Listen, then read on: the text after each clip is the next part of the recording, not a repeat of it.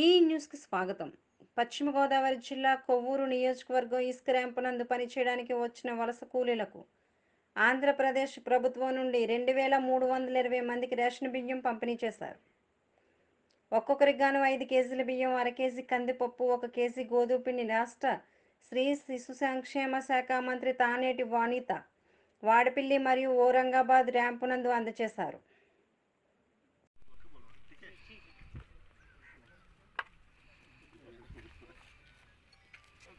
Ramp నందు అందజేశారు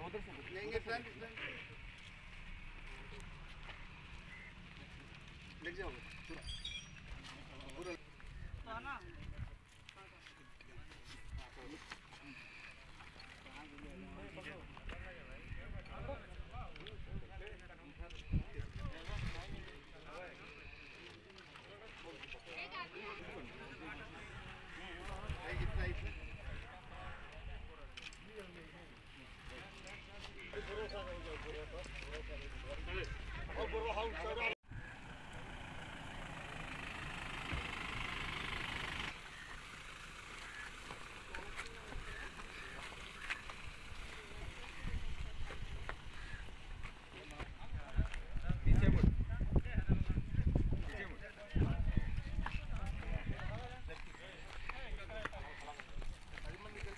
members కదా సార్ ఇది ఆ ten members sir team sir బాబా అది నాలుగు పెట్టుకోండి మేడం వరుసగా నాలుగు నాలుగు ఐటమ్స్ పెట్టేసండి లైన్ डिले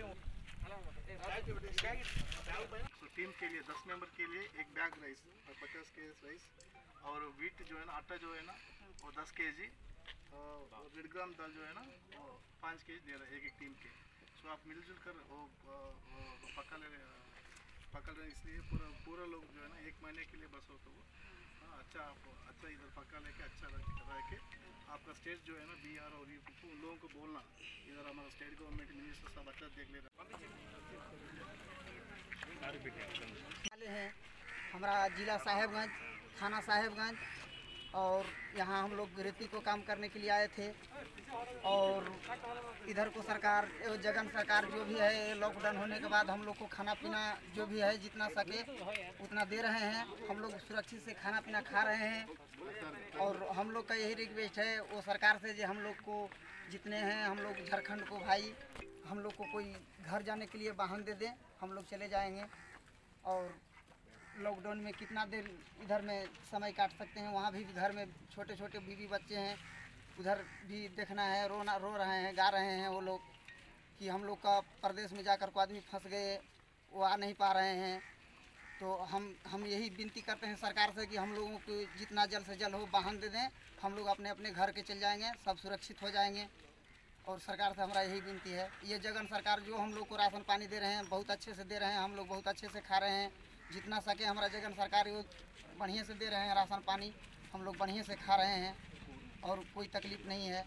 और तकलीफ़ वही है जो हम लोग को एक वाहन दे दे हम लोग घर चल जाएँ।